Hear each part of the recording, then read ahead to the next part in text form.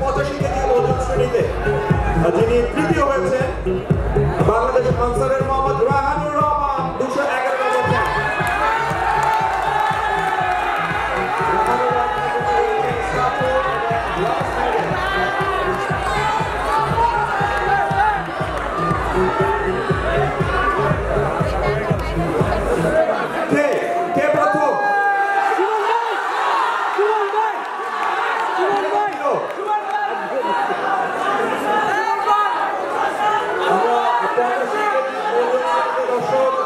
হ্যাঁ, যিনি দ্বিতীয় হয়েছে,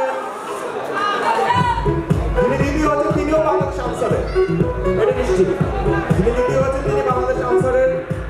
প্রশ্ন হচ্ছে, বাংলাদেশ